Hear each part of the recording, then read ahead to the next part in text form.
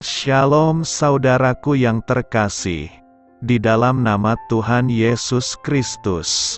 Selamat siang, salam sejahtera untuk kita semua, di mana pun saudara-saudara berada, selamat datang kembali di Renungan Kristen siang hari ini.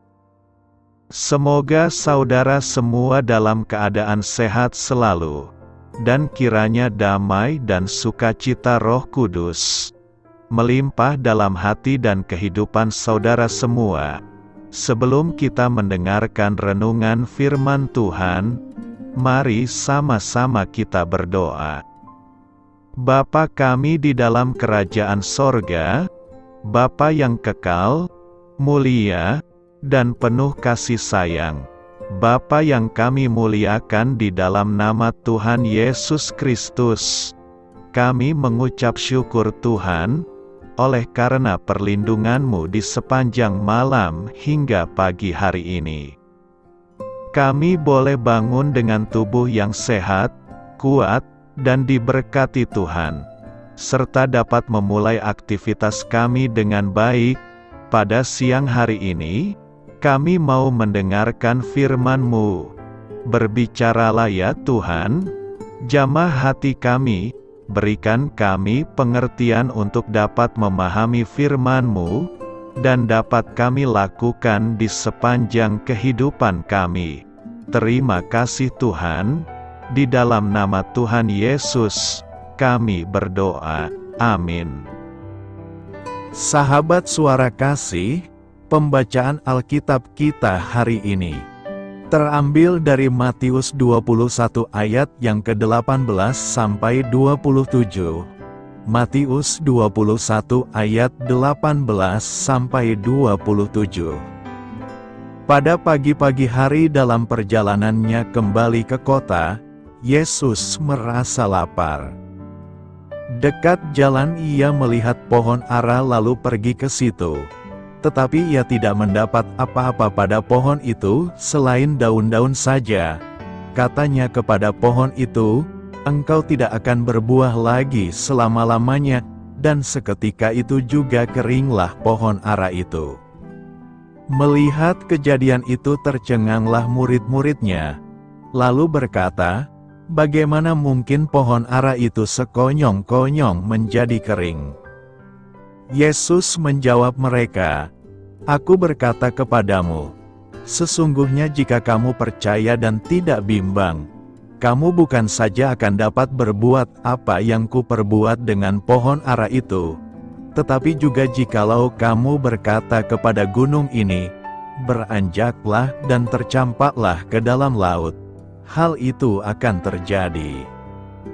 Dan apa saja yang kamu minta dalam doa dengan penuh kepercayaan, kamu akan menerimanya. Lalu Yesus masuk ke bait Allah, dan ketika ia mengajar di situ, datanglah imam-imam kepala serta tua-tua bangsa Yahudi kepadanya, dan bertanya, dengan kuasa manakah engkau melakukan hal-hal itu? Dan siapakah yang memberikan kuasa itu kepadamu? Jawab Yesus kepada mereka, Aku juga akan mengajukan satu pertanyaan kepadamu, dan jikalau kamu memberi jawabnya kepadaku, aku akan mengatakan juga kepadamu, dengan kuasa manakah aku melakukan hal-hal itu? Dari manakah baptisan Yohanes? Dari sorga atau dari manusia, mereka memperbincangkannya di antara mereka, dan berkata, Jikalau kita katakan, dari sorga, ia akan berkata kepada kita, Kalau begitu, mengapakah kamu tidak percaya kepadanya? Tetapi jikalau kita katakan, dari manusia, kita takut kepada orang banyak, sebab semua orang menganggap Yohanes ini nabi. Lalu mereka menjawab Yesus, "Kami tidak tahu." Dan Yesus pun berkata kepada mereka, "Jika demikian, aku juga tidak mengatakan kepadamu, dengan kuasa manakah aku melakukan hal-hal itu." Sahabat suara kasih, Ayat emas renungan kita hari ini adalah Matius 21 ayat 21 sampai 22. Yesus menjawab mereka, Aku berkata kepadamu, sesungguhnya jika kamu percaya dan tidak bimbang, kamu bukan saja akan dapat berbuat apa yang kuperbuat dengan pohon ara itu, tetapi juga jikalau kamu berkata kepada gunung ini, beranjaklah, dan tercampaklah ke dalam laut, hal itu akan terjadi. Dan apa saja yang kamu minta dalam doa dengan penuh kepercayaan, kamu akan menerimanya. Judul renungan kita hari ini adalah Tak ada yang mustahil bagi Tuhan. Ditulis oleh Maria Kesmetan, sahabat suara kasih. Apa yang sedang Anda alami hari-hari ini? Apa yang sedang Anda perjuangkan? Mungkin hari ini Anda berpikir tidak ada yang bisa diselamatkan Mungkin Anda berpikir tidak ada lagi jalan keluar, atau orang yang kalian sayangi tidak lagi bisa percaya kepada Anda, karena begitu banyaknya persoalan, sehingga seolah-olah kehidupan Anda begitu berantakan. Dengar baik-baik, ada Tuhan yang bisa membereskan segala sesuatu jauh dari apa yang bisa kita pikirkan, karena Allah kita adalah Allah yang tidak terbatas. Allah kita juga adalah Allah yang tidak perlu kita ragukan, karena Dia Allah yang luar biasa, yang memiliki langit dan segala isinya. Bahkan Allah yang kalau berfirman mana apa yang diucapkan semuanya terjadi, jadi apa yang membuat Anda tidak meminta pertolongannya hari ini? Apa yang membuat kita tidak menaruh harapan kita kepada Dia? Di saat segala sesuatunya seolah akan runtuh, Dia memberikan kita kesempatan.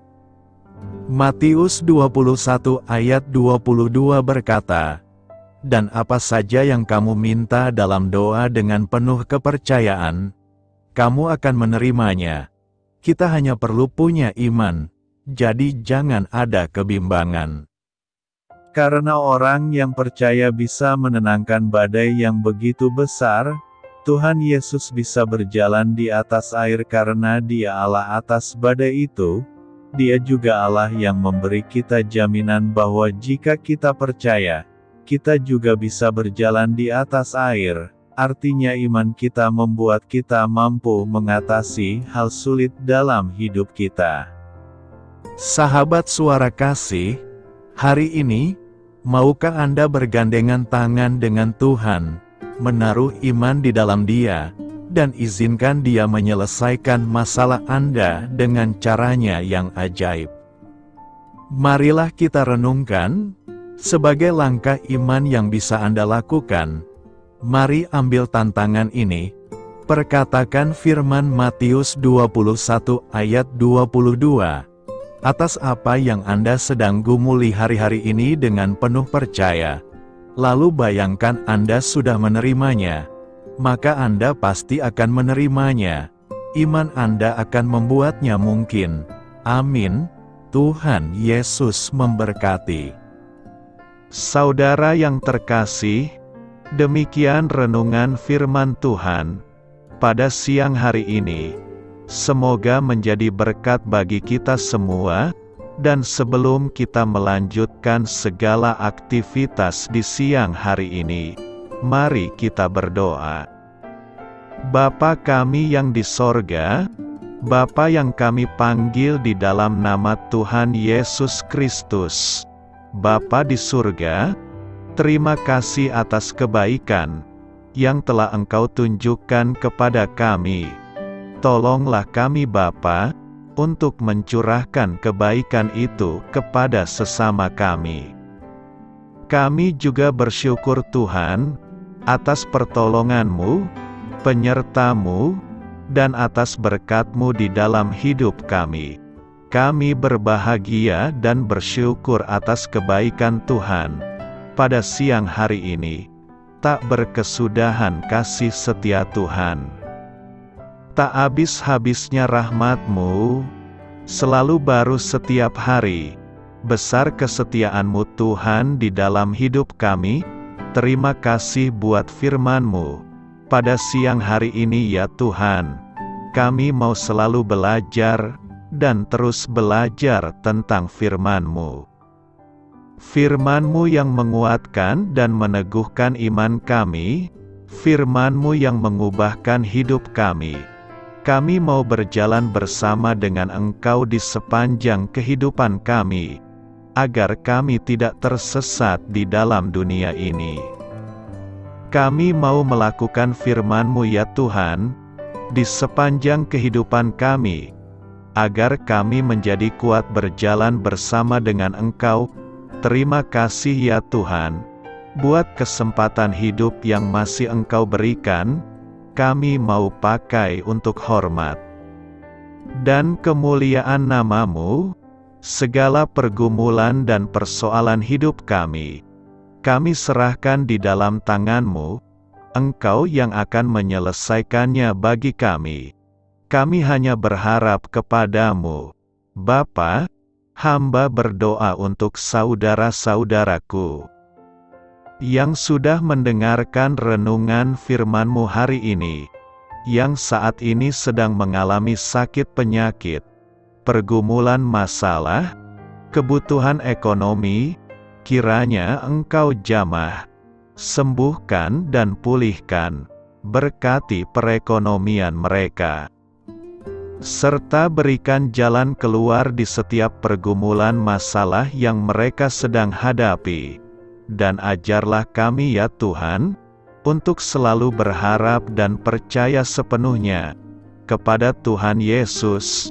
Kiranya Engkau terus memberkati kehidupan kami, keluarga kami, sanak saudara kami, daerah tempat tinggal kami, bangsa dan negara kami pemerintah-pemerintah kami, biarlah semuanya dalam perlindunganmu ya Tuhan, dan jadilah sesuai dengan kehendakmu yang terbaik di dalam kehidupan kami. Dan pada siang hari ini ya Tuhan, kami berterima kasih, buat perlindunganmu di sepanjang waktu yang telah kami lewati, siang hari ini kami akan melanjutkan aktivitas sebagaimana mestinya. Kami yakin dan percaya, perlindunganmu tetap ada di dalam kehidupan kami, di sepanjang hari yang akan kami lewati ini. Terima kasih ya Tuhan, inilah yang menjadi doa dan permohonan kami. Dalam nama Tuhan Yesus kami berdoa, amin.